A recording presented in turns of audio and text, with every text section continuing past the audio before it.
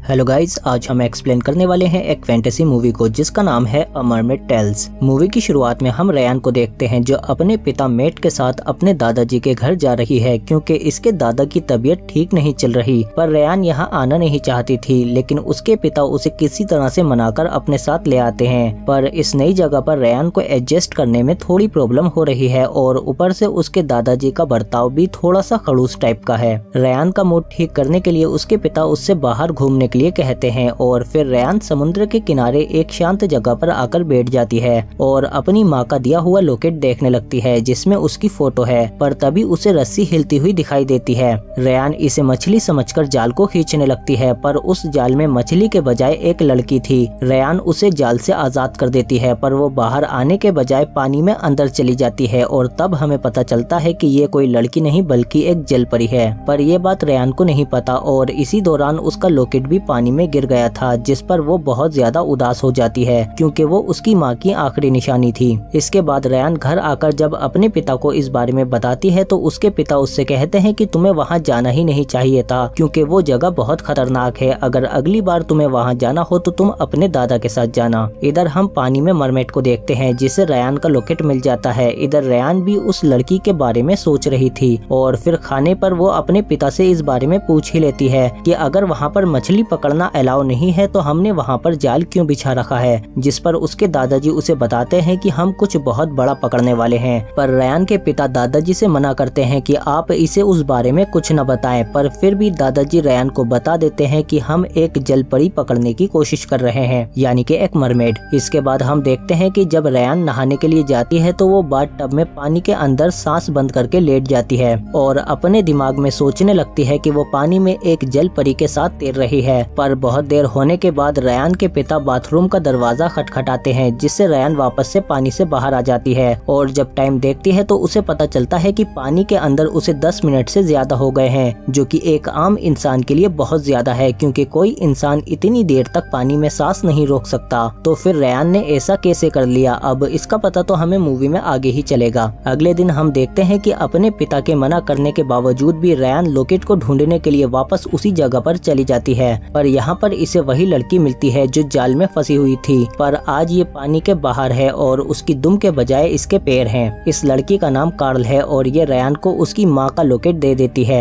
और फिर थोड़ी ही देर में रयान और कार्ल आपस में बहुत अच्छे दोस्त बन जाते हैं। पर तभी कार्ल को महसूस होता है की उसकी माँ उसे बुला रही है, इसीलिए वो रयान से दोबारा मिलने का वादा करती है और उसे कहती है की हमारी मुलाकात के बारे में तुम किसी को कुछ नहीं बताना। और फिर कार्ल वापस से पानी में चली जाती है। अपने घर अपनी माँ के पास। लेकिन अब रयान के मन में बहुत सारे सवाल उठने लगे हैं, जैसे कि अगर वो जल परी है तो वो पानी के बाहर कैसे है और उसकी दुम के बजाय उसकी टांगे क्यों है? इसके बाद हम देखते हैं कि रयान के डेड उसे एक कैफ़े में ले आते हैं, पर इस कैफ़े की मालकिन जीना है और रयान के पिता इसी से मिलने यहाँ पर आए हैं और फिर वो रयान को बताते हैं कि तुम्हारी मोम से पहले मेरी ज़िंदगी में जीना थी, लेकिन मुझे कुछ बड़ा करना था, इसीलिए मैं शहर छोड़कर बाहर चला गया, जिसके बाद सारे रिश्ते यहीं पीछे छूट गए। पर अब मैं सब कुछ ठीक करना चाहता हूँ। इसके बाद हम देखते हैं कि वो मरमेट काल फिर से रयान से मिलने के लिए आती है, पर यहाँ पर कोई भी मरमेट को देख सकता था, इसीलिए रयान उसे उसी प्राइवेट जगह पर बुलाती है। और फिर थोड़ी देर बाद रयान जब वहाँ पर पहुँचती है तो मरमेट भी वहाँ पर पहुँच जाती है। रयान उसके पैर देखकर काफ़ी हैरान थी कि इसकी दुम की जगह इसके पैर कैसे हो सकते हैं, जिस पर काल उसे बताती है कि हम लोगों के पास एक स्पेशल पावर है, जिसकी मदद से हम अपनी दुम को पैरों में बदल सकते हैं और इंसानों की तरह पानी के बाहर रह सकते हैं, पर हम ज़्यादा देर तक पानी से बाहर नहीं रह सकते, क्योंकि अगर हम ज़्यादा देर तक पानी से बाहर रहे तो हम हमेशा के लिए इंसान ही बन जाएँगे।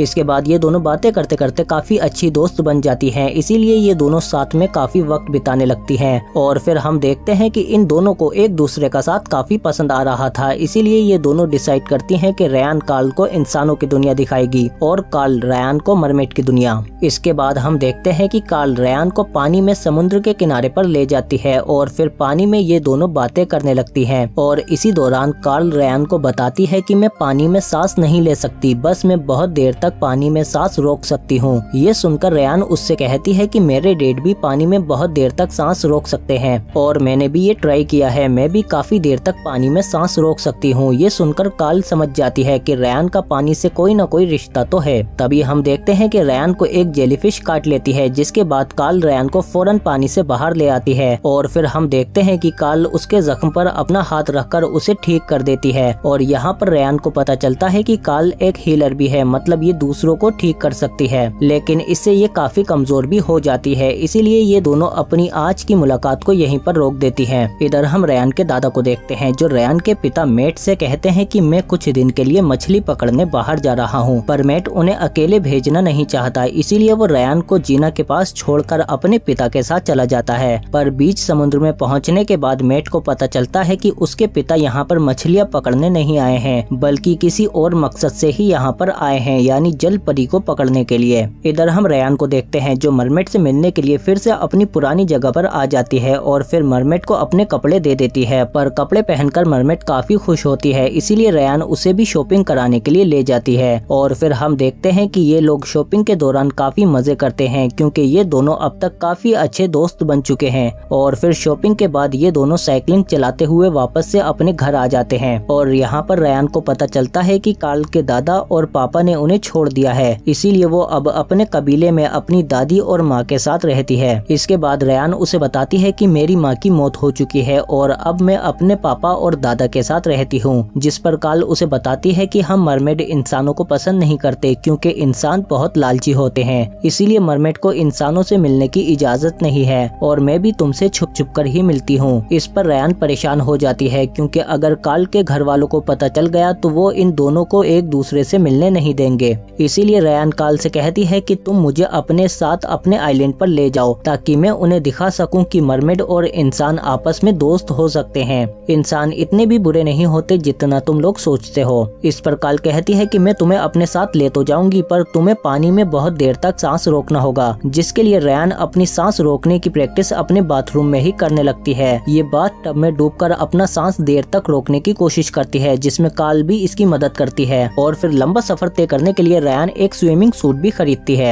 इसके बाद रयान जीना के पास जाती है और यहाँ पर ये दोनों कप केक बनाने लगते हैं। और फिर इसी दौरान रयान जीना से मरमेट के बारे में पूछती है, जिस पर जीना उसे बताती है कि जब मैं छोटी थी तो मैंने एक बार पानी में मरमेट को देखा था, पर मुझे लगता है कि वो मेरा बहम था, क्योंकि मरमेट असल में नहीं होती जिस पर रयान उसे बताती है, नहीं, मरमेड असल में होती है। और फिर रयान जीना को भी सब कुछ बता देती है, लेकिन वो टीना से कहती है कि तुम ये बात अपने तक ही रखना, किसी और को मत बताना। और फिर अगले दिन हम देखते हैं कि रैन काल के साथ तैरते हुए उसके आइलैंड पर पहुँच जाती है। पर यहाँ पर पहुँचने पर काल की मोम उस पर बहुत गुस्सा होती है कि तुम एक इंसान को यहाँ पर कैसे ले आई? ऐसा करके तुमने हमारे कबीले को खतरे में डाल दिया है। इसीलिए ये लोग रैन को अपनी रानी के पास लेकर आते हैं, जो कि काल की दादी है। और इनका मानना है कि रयान हमारे लिए खतरा बन जाएगी, क्योंकि ये बाहर जाकर इंसानों को हमारे बारे में बता देगी। इसलिए अब रयान को भी हमारे साथ इसी आइलैंड पर रहना होगा, जिस पर रयान बहुत परेशान हो जाती है, क्योंकि वो अपनी फैमिली को नहीं छोड़ सकती। इसलिए वो यहाँ भी रहना नहीं चाहती, जिस पर काल को लगता है कि रयान उसे धोखा दे रही है, और इसीलिए वो भी रोने लगती है और गुस्से में सबको बता देती है कि रयान की फैमिली मछलियाँ पकड़ती है। और फिर काल की बातों से उसकी दादी समझ जाती है कि रयान के दादा कौन है, और फिर वो कहती है कि मैं रयान के दादा को जानती हूँ। वो एक अच्छे इंसान है, पर एक दिन उनका दिल टूट गया और इसीलिए वो नफरत में अंधे हो गए और समुद्र में मछलियाँ पकड़ने लगे। इसीलिए अब काल की दादी रयान से कहती है कि मैं तुम्हें यहाँ से जाने दूँगी, पर तुम्हें एक वादा करना होगा कि तुम किसी को भी हमारे बारे में कुछ भी नहीं बताओगी। और फिर हम देखते हैं कि काल और रयान एक दूसरे से गले मिलकर बहुत रोती हैं, क्योंकि ये बिछड़ना नहीं चाहती। इसीलिए ये दोनों अपनी अपनी याद में एक दूसरे को अपने कीमती लोकेट दे देती हैं। इसके बाद काल की मोम वापस से रयान को उसके घर के पास छोड़ देती है। और इधर हम देखते हैं कि बोट पर रयान के दादा की तबीयत काफ़ी बिगड़ जाती है, इसीलिए मेट उन्हें हॉस्पिटल में ले आता है। और फिर यहाँ पर रयान भी अपने दादा के होश में आने का इंतज़ार करने लगती है और जैसे ही उसके दादा को होश आता है, वो रयान के गले में एक लोकेट देखते हैं, जो कि काल का था। पर रयान के दादा फ़ौरन पहचान लेते हैं कि ये मरमेट का लोकेट है। और फिर इसीलिए रयान के दादा उसे बताते हैं कि जब मैं जवान था तो मुझे मछलियाँ पकड़ते हुए एक मरमेड मिली, जिसे देखते ही मुझे उससे प्यार हो गया था। इसके बाद हमने काफ़ी वक्त बिताया और हम दोनों की ज़िंदगी में सब कुछ बहुत अच्छा चल रहा था, पर फिर उसके कबीले वालों को हमारे बारे में पता चल गया और वो लोग हम दोनों के रिश्ते से बिल्कुल भी खुश नहीं थे। इसीलिए मरमेट को मुझे छोड़कर जाना पड़ा, क्योंकि वो अपने घर वालों को धोखा नहीं दे सकती थी। इसीलिए वो मुझे भी छोड़कर हमेशा के लिए चली गई। उसके बाद मैंने बहुत टाइम तक उसका इंतज़ार किया और फिर धीरे धीरे मेरा प्यार गुस्से में बदलने लगा। लगा। इसीलिए मैंने मछलियाँ पकड़ना शुरू कर दिया। इसी उम्मीद में कि शायद एक दिन मैं उस मरमेड या उसके किसी साथी को पकड़ पाऊँ, पर मेरे हाथ कुछ नहीं लगा। और फिर अचानक एक दिन मेरे दरवाजे पर कोई एक बच्चा छोड़ गया, और वो बच्चा कोई और नहीं बल्कि मेट था, तुम्हारा पिता। मरमेट खुद तो वापस नहीं आई, पर उसने हमारे प्यार की निशानी मुझे तुम्हारे पिता के रूप में भेज दी थी। मैंने तुम्हारे पिता को हमेशा गले से लगा कर रखा, पर फिर भी मैं उस मरमेट से मिलने के लिए बेताब हूँ, क्योंकि मैं जानना चाहता हूँ कि वो वापस क्यों नहीं आई? मुझे अकेला क्यों छोड़ दिया? प्लीज़ मुझे एक बार उसके पास ले जाओ। और फिर दादा के बहुत रिक्वेस्ट करने पर रयान मान जाती है।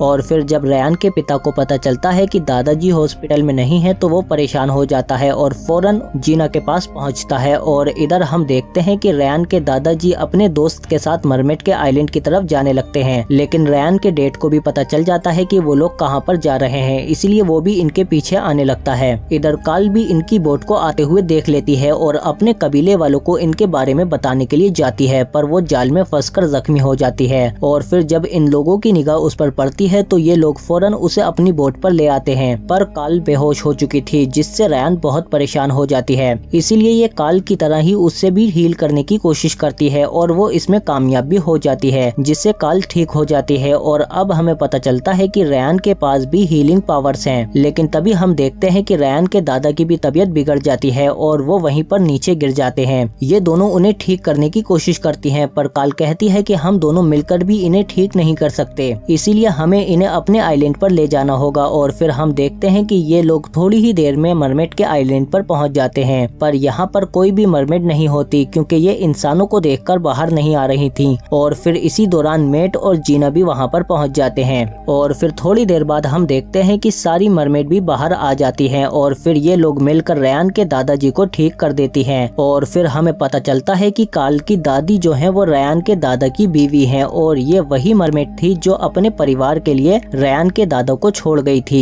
इसीलिए ये काल के साथ साथ रयान की भी दादी हुई और उसके पिता मेट की माँ। इसीलिए मेट भी अपनी माँ से मिलकर बहुत खुश होता है और फिर ये लोग हमेशा साथ रहने का फैसला करते हैं और इसी के साथ ये मूवी यही खत्म हो जाती है। अगर आपको ये वीडियो अच्छी लगी तो प्लीज़ लाइक करो इसे और कमेंट करके बताओ हमें कि आपको और किस तरह की मूवी चाहिए। और साथ ही हमारे चैनल को भी सब्सक्राइब करो बेलाइकन दबा के नोटिफिकेशन ऑल पर भी क्लिक करो ताकि और भी अच्छी अच्छी वीडियो मिलते रहे। आपको हम मिलते हैं आपसे अगली वीडियो में।